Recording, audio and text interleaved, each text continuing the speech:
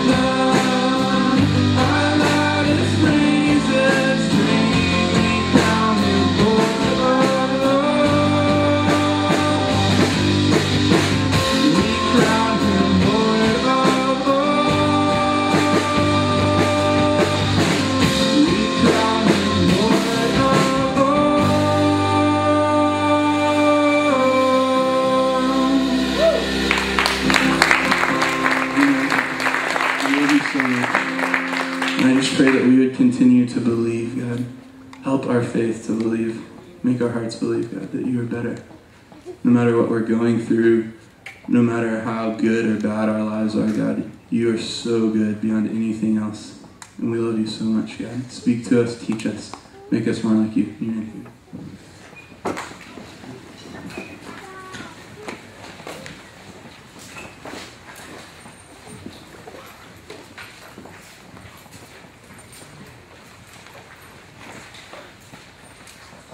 Thank you.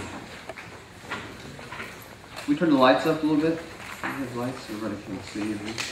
Hey, here we go. Hey, everybody. Was weak. What's up? Hola.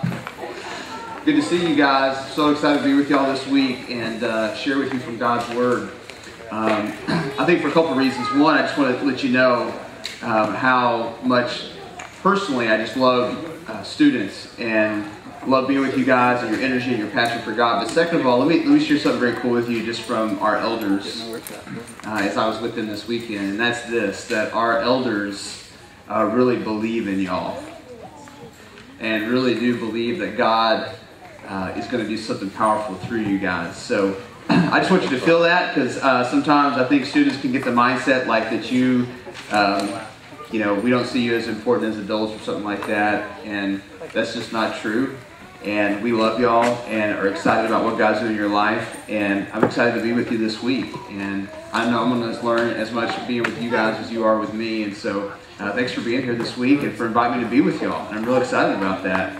So uh, I can't wait to see what God is going to have for us. And uh, I do want to share with you, um, before I get started, just that God um, doesn't just want to do things for you, but He wants you personally. He wants your heart, and He's pursuing you.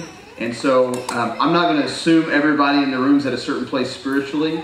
And so some of this, even tonight, might feel like a little foundational, but I just want to make sure before you try to go out and share Christ with people, like that you have Christ in you and that you have a relationship with God that you want to share with people because you're excited about Him. And uh, more than God just wants to use you to do something great, He wants you personally.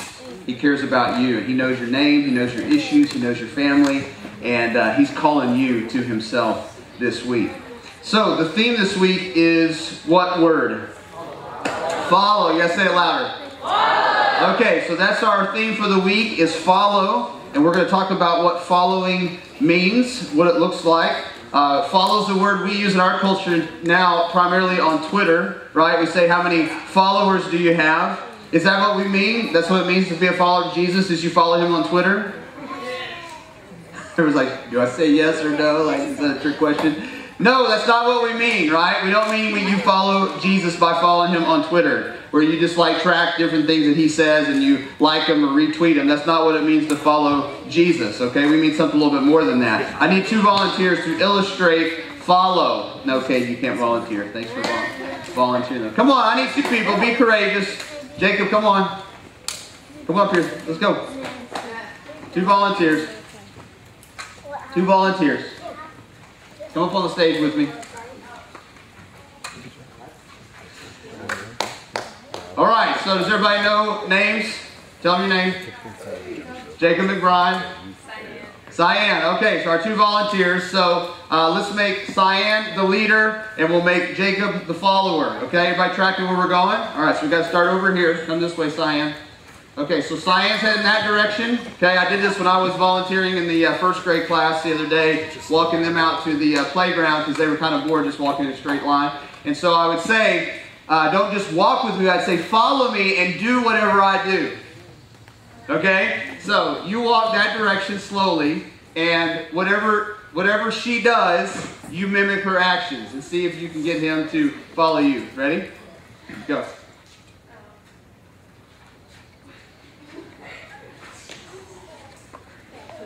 Okay, come back this way. Okay, do it one more time. Be a little crazier. All right, do it, Cyan. Here we go. Follow her, Jacob. Dance like a chicken. Cartwheel. All right, give him a round of applause. Thank you for coming up here. Thanks for helping out. Okay, what did Jacob have to do to follow Cyan? I, I can't hear you. Say it louder. Watch her. That was number one, right? Could he do what she was doing if he wasn't watching her? No. First of all, had to look at her and see what she was doing. What else? Say it. What else? What else did he have to do besides watch her? Okay, mimic what actions she had. What else? Acted out. He had to actually do it himself. He had to use his body to do what she was doing. Okay, what else? Humble followed. I, I say it. Humble followed. Humble himself. Why was that? Because he had to act like a chicken in front of all of y'all? Okay, good. Somebody else has something else over here. He followed her. Yeah, but what does that mean? What did he have to do to follow her? Walk behind her. Walk behind He had to keep up with her, right? Like he got too far away. She got too far away. he couldn't see her anymore. Okay? Giving you a picture of what it means to follow. Write down this verse, Matthew 4, 18 to 22. Matthew 4, 18 to 22. Be one of our key verses for the week, just to kind of think of this word follow. Scripture says this As he was walking, Jesus, along the Sea of Galilee, he saw two brothers, Simon, who was called Peter, and his brother Andrew. They were casting a net into the sea, since they were fishermen. Follow me, he told them, and I will make you fish for people. Immediately they left their nets and followed him.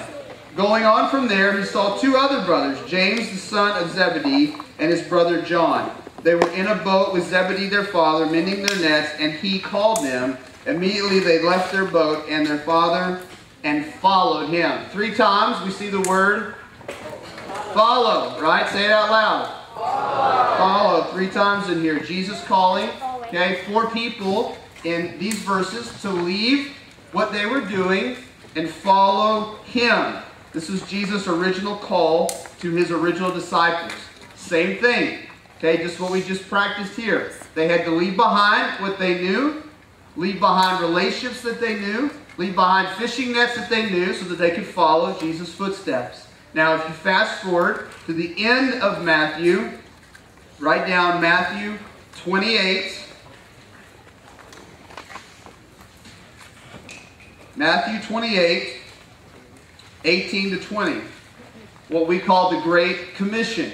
The last words of Jesus in the book of Matthew, Matthew 28, 18 to 20, when Jesus commissions his disciples. Now, here's what he says to them Jesus came near and said, All authority has been given to me in heaven and on earth. Go therefore and make disciples of all nations, baptizing them in the name of the Father, the Son, and the Holy Spirit, teaching them to observe everything I've commanded you. And remember, I'm with you always to the end of the age.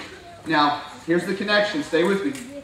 Make disciples. A disciple is a student who obeys his teacher.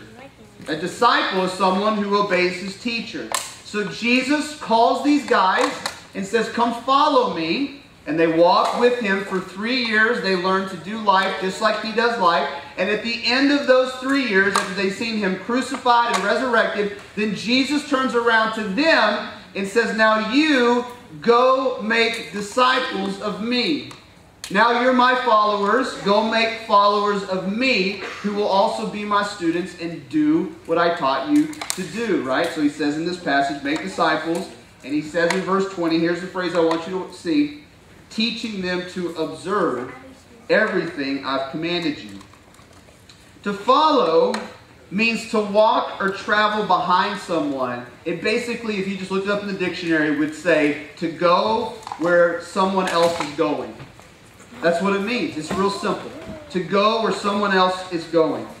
Now, I want to say at the outset, just to make sure we're, we're keeping our ideas straight in our mind. Okay, this is real important to me. No one follows Jesus perfectly.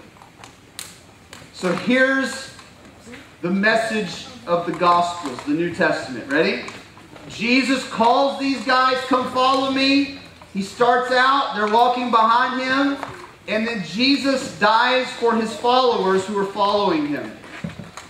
Why does Jesus have to die for the people who are following him? because they can't follow him. Tracking with me? This is really important. He calls them, come do what I do. They can't do what he does. And so Jesus has to die for those who follow him. This is where Christianity is different from every other religion. If we were here tonight, we would say, we're going to teach you how to be followers of Muhammad. We're going to teach you how to be followers of Buddha. We would just get you up here and we'd say, here's what Buddha did, here's what Muhammad did, just do what they did. That's what we'd say. But that's not Christianity. Christianity is do what Jesus did, but know from the outset that you can't do it. That's a weird message in this. Know from the beginning you can't do it. That's why Jesus died, had to die for his followers. That's why the first invitation of the Christian faith is not follow. Even though that's the theme for the week. That's not the first invitation of Christianity. The first invitation is repent and what is it? Repent and believe. So Jesus shows up on the scene before Matthew 4, before he says follow, and he begins to announce that the kingdom's at hand, and he says repent and believe. Because here's what we have to do. Students, listen. We turn from ourselves, we trust in Jesus, and then we commit to follow him. You got to get the order right. We turn from self, we trust in Jesus and what he did for us, and then we commit to follow him. The invitation you're going to go out and share during Rock to Rock with all these kids is not for them to get their life straight. It's not the invitation for them to start doing good and start acting right and start being better little children. That's not the message. The message you're sharing is there is someone who came who died for you, who rose for you, who offers you life if you'll repent and believe in him. That's the message, right? That's the good news. That's the gospel. You see, the first disciples who were invited to follow Jesus, they didn't get it. For three years, they misunderstood him. They questioned his teachings. They stumbled in their obedience, but Jesus didn't give up on them. He kept calling them again and again keep following me, keep following me. So for you and I, when we believe in Jesus as the Son of God, the resurrected Savior, we set out, out after him. But we do that because we know that he gave his life for us. You see, we follow the one who purchased us with his blood. And that's where Christianity is different. The message of the gospel is not follow Jesus so you can get to heaven. The message of Christianity is Jesus paid for you so you can follow him. Mm. Jesus paid for you. He gave it all so that you could follow him. We are willing to follow him. And here's the three things I want you to think about about the reason we follow him. Because he is worthy, because he died for us, and because his way is best. Let me say it again. He is worthy, he died for us, and his way is best. This is why I have no problem standing in front of you guys tonight and saying you should follow Jesus. You should give your life to him because he's worthy, he died for you, and his way is best. Now let's think about all the other people that we're called to follow in our culture. Lady Gaga has 40 million followers on Twitter. I don't really get that. I'm serious. Like, what are we trying to learn from following Lady Gaga on Twitter? She had a Diet Coke today. Like, what is it about our culture? I'm serious that we're so enamored with celebrities that we want to know everything that they did so we can do what they did. The question you need to ask about everybody you're enamored with, that you follow, that you track, that, that you listen to everything that they eat and that they listen to and they watch and whatever, you're following, you're trying to mimic your life after their life. Here's the question you need to ask Are they worthy of you following them? Are they worthy of you following them? That basketball star you love, and you're like, oh, I just want to be like LeBron James. I just idolize him. I just want to be like LeBron. Is he worthy of you following him with your life? That's the question you got to ask. The second question is, what has that person done for your good? Jesus died to save you from your sins. What has this other person done that you're following? What have they done for you? That, that popular kid at school that you're just like, if I could just be like them and everybody would like me like them and I, if, if everybody would want to be around me and you just try to follow that, that popular kid at school, are they worthy of you following them? What have they done to help you for your good? And then is what they're saying and teaching for your best? This is why I don't even say to you guys, follow your pastor or follow your parents, even though you should respect the authority in your life. Listen, the call of Christianity is to follow Christ, to follow Jesus. He alone is worthy, He alone has died for you, and He alone is doing what is best. Here's why I say all that to intro. If you don't believe that, you won't listen to anything else I say the rest of this week. Because the rest of this week, here's what I'm going to give you. I'm just going to give you each day, I'm going to give you one trait that Jesus had that we should follow. But if you don't believe that he's worthy of you following, if you don't believe he died for your sins and rose again, if you don't believe that what he modeled and what he taught is best for your life, you won't follow him. You'll follow Lady Gaga and LeBron James and whoever else at school you think is popular. That's who you will follow. You know that's true. Because that's where we are as human beings. It's not just a high school thing or a junior high thing, it's a life thing. I can never figure out why exactly we do the things we do. Why do we dress the way we dress? And why do we talk the way we talk? And cut our hair the way we cut our hair? All that. Because there's somebody out there we admire. We say, I want to be like that person. The invitation for this week is that that person you should admire is. He's the one that's worthy, given his life, and that knows what's best so that we should follow him. The first Christians in the New Testament were called this, and I want you to say it with me and learn it. They were called the people of the way. Say it, the people of the way. Can you say it? People of the way. Write that down. They were called people of the way. W A Y. What they meant by that phrase was they, they meant two things. They believed Jesus was the way to God, because Jesus had said that. I am, John 14, 6, the way, the truth, and the life. No one comes to the Father except through me. So he said, I'm the way to God. You want to get to God? You want to spend eternity in, in heaven? I'm the way to that destination. So they called Jesus the way. But they also meant not just that Jesus was the way to God, but that Jesus had showed us the way to live. Jesus had showed us the way to live. This is what it means, students, to be a Christian, to be a Christ follower. It means you've put your trust in Jesus as the way to God, and that you've set the course of your life on Jesus as the way to live. Are you tracking with me? Those are the two commitments of a Christian. You've said, I believe Jesus is the way to God, and I believe Jesus has set the way to live. Both are equally important. The way of Jesus is not just a way to get to heaven, it's also a way to live. But the way of Jesus is not just a way to live, it's also a way to get to heaven. It's both. In short, let me give you that in one phrase. We trust Jesus as Savior and we follow Jesus as Lord. We trust Jesus as Savior and we follow Him as Lord. That's Christian message. So maybe you now know a little bit more when the pastor gets up and says, Is Jesus your Lord and Savior? When the New Testament says, Is Christ your Lord and Savior? That's what it means.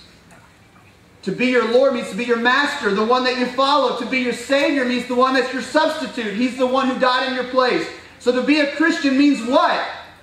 That I've trusted Jesus as my Savior and I've set my sight on Jesus as my Master and my Lord.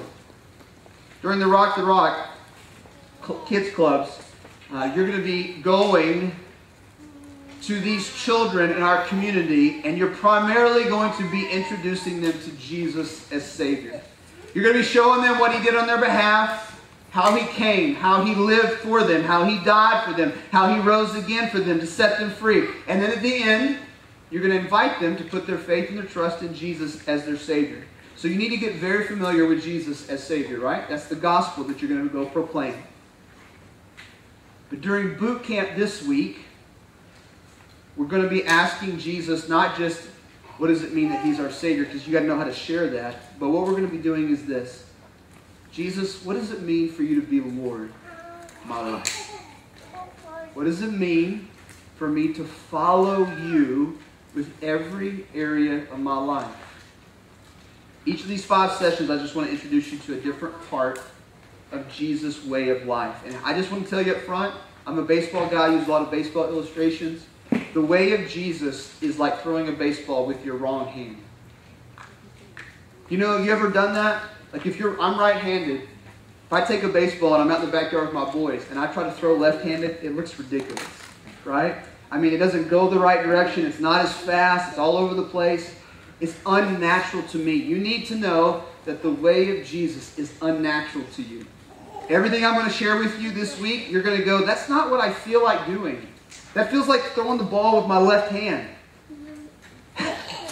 That's what the way of Jesus feels like to us. It's the opposite of our natural desires. And that's why you have to have a new heart. That's why you have to lean on the Holy Spirit. And can I just be honest with you? It's why you have to make a decision. You have to make a decision. Students, look at me. You got to make a decision. You've got to say, this is who I want to follow. Back to my Twitter illustration. You know when you're on Twitter and, and, and there's somebody that's intriguing to you, you, you make the decision to say, I'm going to follow that person. You, you click on them, say, I want to follow what they say, I want to see what they do with their life. You have to make that decision. Being at church, being here at boot camp, that's not the decision. The decision is to say, I'm going to follow Christ. Your parents can't make that decision for you. I can't, Jacob can't make that decision for you. Our interns, we can't make the decision for you. You have to make that decision.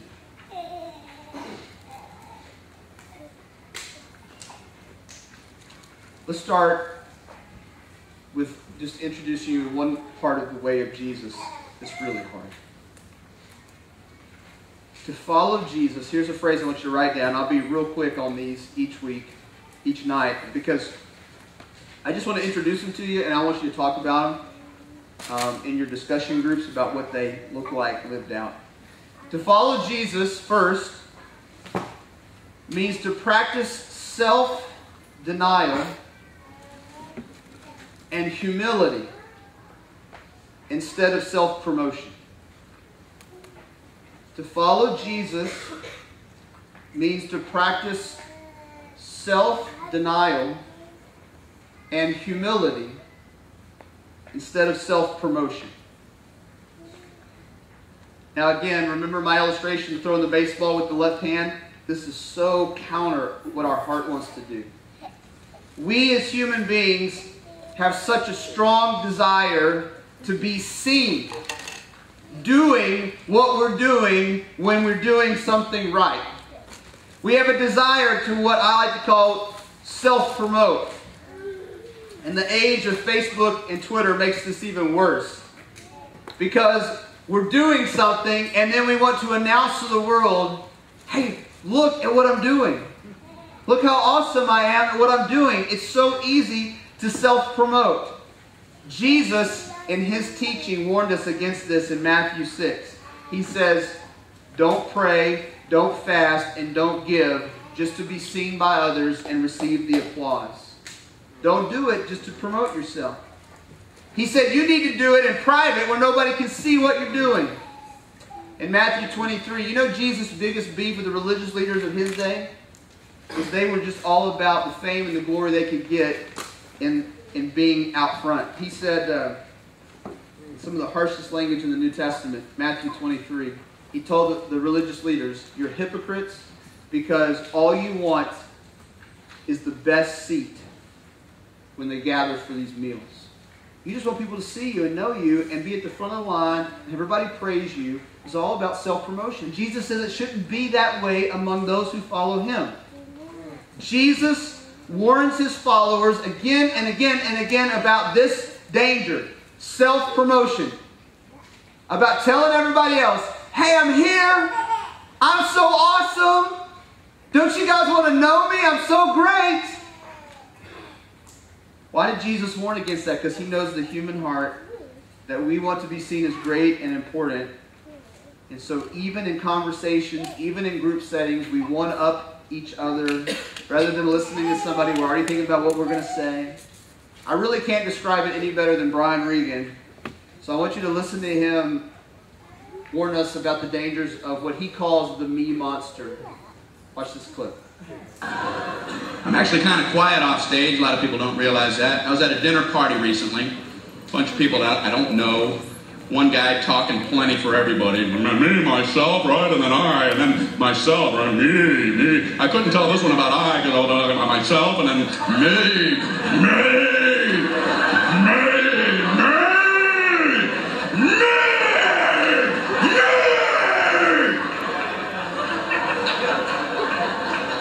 Beware the monster.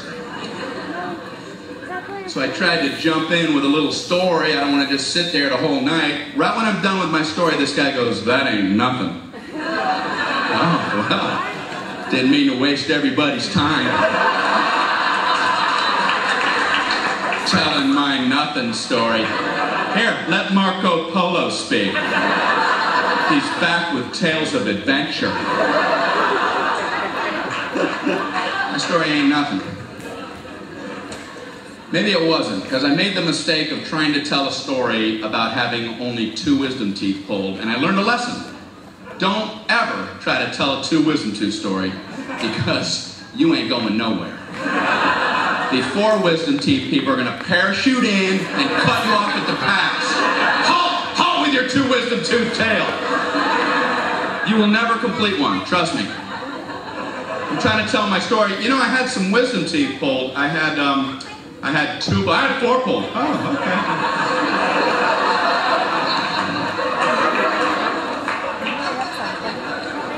No, five, no, nine. I had nine wisdom teeth pulled. All of mine were impacted. They were all coming upside down. The roots were out around my tongue, coming out my nose. They were tusks. I was a warthog. No anesthesia. They pulled them out with pliers. I was eating corn on the cob that afternoon. Pin the blue ribbon upon his chest. That knocks the socks off of my wisdom tooth tale. Why do people need to top other people? I've never understood it and I see it all the time. Obviously, people get something out of it. At best, people wait for your lips to stop. Yeah, as soon as. Okay, yeah, you, me! You, me! You see the difference? You see, you see that? Now I do. What is it about the human condition people get something out of that? That's why I have a social fantasy. I wish I was one of the 12 astronauts who have been on our moon. They must love knowing they can be anybody's story whenever they want. They can sit back quietly at a dinner party while some other person, some me monster's doing his thing and let him go. Let him run with the line while you be quiet. Oh, really? Let him have his moment. Yeah, I'm a big traveler. I have my business. I got my own global enterprise. I got to check on. You know, driving in the autobahn because I keep a fleet of sports cars over in Zurich, and I got a Swiss account that I want to check on. Mount Kilimanjaro expedition might have to cancel that. You know, runways in Aspen are a lot shorter the first time you go in there. Know, you know, the Pacific Rim Company is going to try to take that over. And they, blah, blah, blah, global enterprise.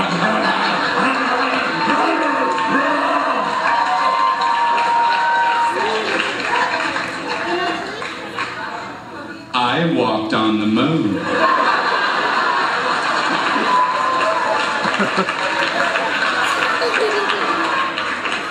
well, you have the floor, Moonwalker. You know, you mentioned driving on the Autobahn. That reminded me.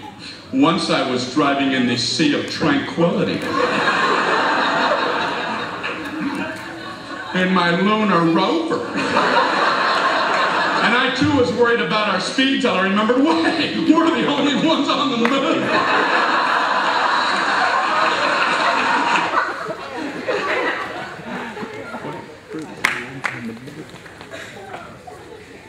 So Brian does a great job just warning us about that me monster, right?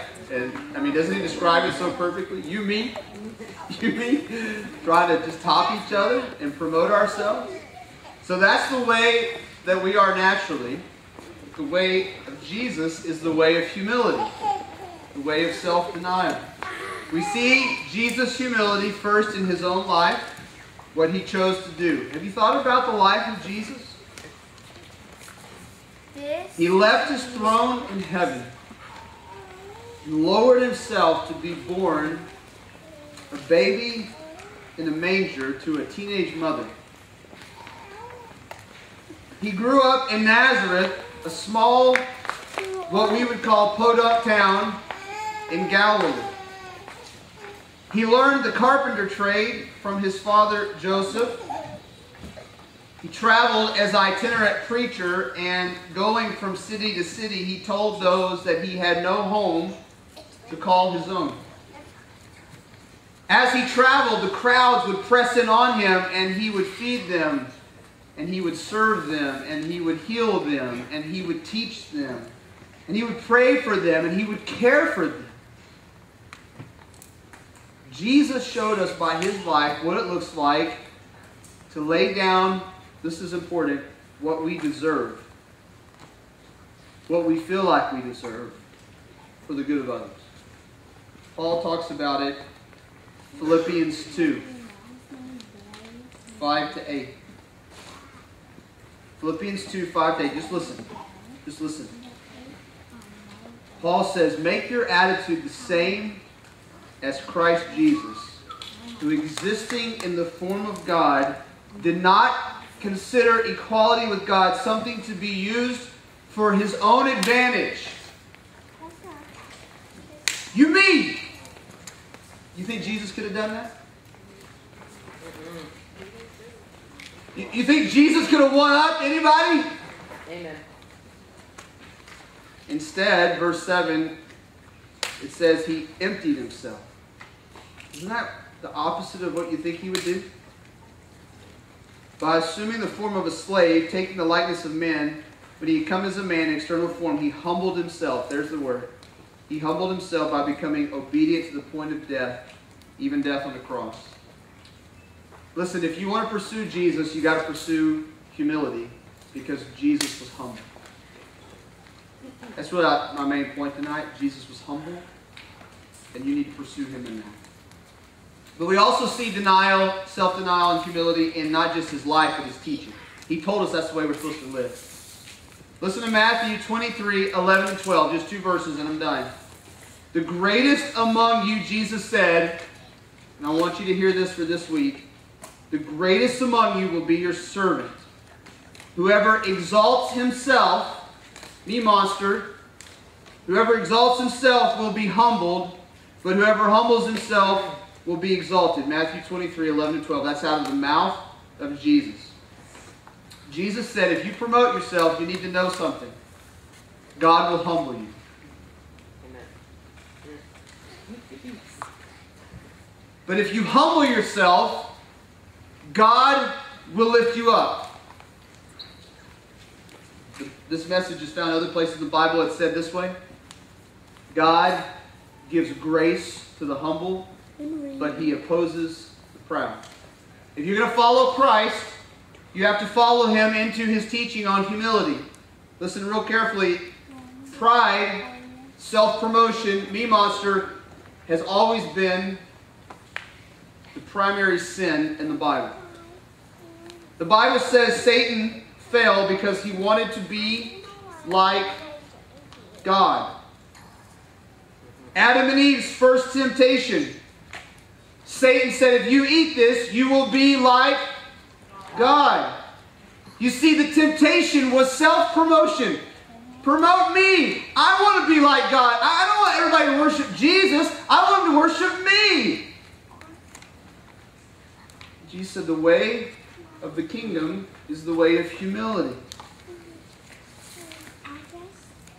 The way of this world is self exaltation, self glorification, self promotion. You put out your album, your CD, your jersey, everybody wears your stuff, your clothes, your name on everything, your Facebook, your Twitter. Get your name out there, make your name for yourself. That's the message of this world. The message of this world is not see those who need help around you and help them.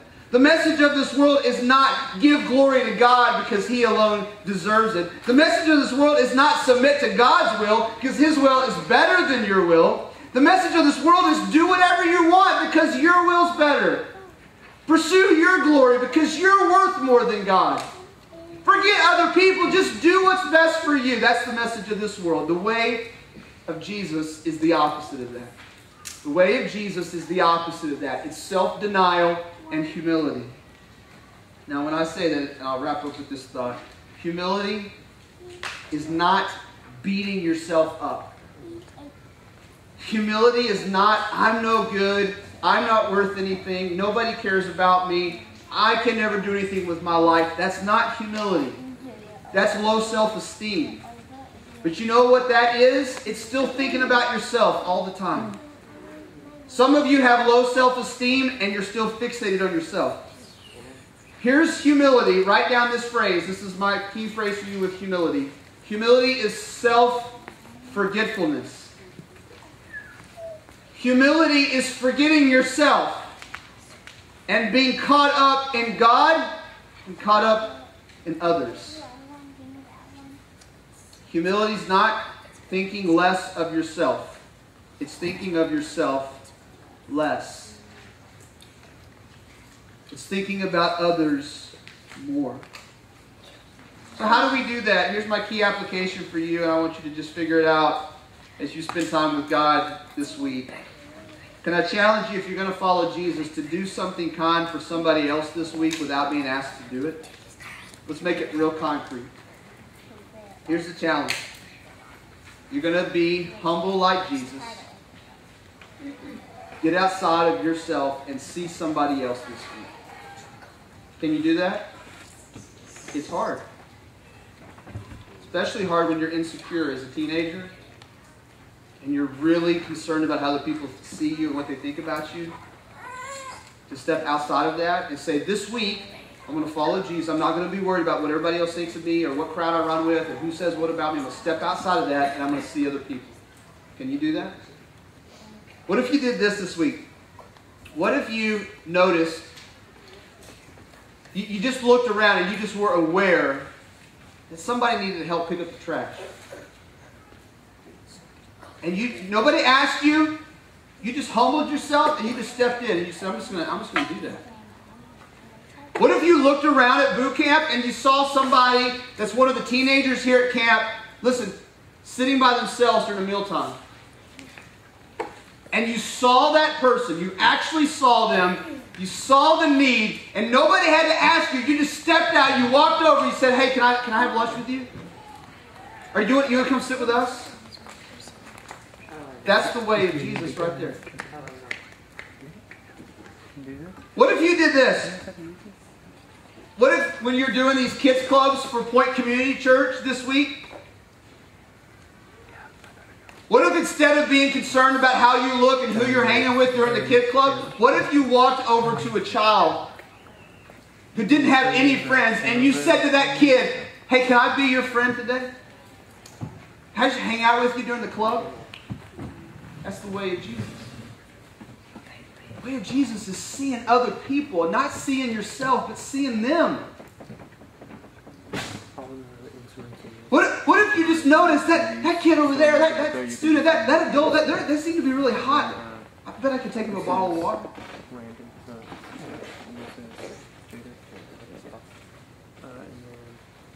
And don't freak out when you do that. Nobody sees. Nobody says anything. You don't get any recognition. Jacob doesn't call you up here and be like, this is a model of following Jesus. Like nobody knows, nobody sees except God. See you later. That's the way of Jesus right there. You're not doing it to get your name uh, up on the screen. You're not doing it because so Keith will say something about you from the front. You're just doing it because that's what Jesus modeled for you, and you're saying, I want to be like him. Now, I say all that to say, do you see why I said at the beginning? If you don't think Jesus is worth following, you won't do this kind of stuff because it's hard. It's throwing the baseball with the other hand. And it's not going to feel natural to you. You're going to want to hang out with your friends and do what feels good to you and what's natural to you. And that's not the way Can we be people of the way this week? The first step in doing that is to pursue humility and not self promotion. We pray for you. God, thank you for speaking to us and just the model and the teaching of Jesus that we would think about others ahead of ourselves. God, if I'm honest tonight, um, this is just really difficult and we need your help. Father, I fall into the trap so many times of just doing what whatever feels good to me and brings me attention and fame. But that's not the way of Christ. Thank you, Jesus, that you paid for our pride and selfishness on the cross, and that we, you have forgiven all that. But we want to move forward and to be a people who are humble and that we're focused on serving others this week, wow, what a powerful time, powerful opportunity to live for others. I pray that you would speak into the lives of these students, that you change their heart, that they would really begin to be not fixated on themselves, that they would be living for your glory and the good of others. Help us, Lord, now follow you in this way. Pray in Jesus' name. Here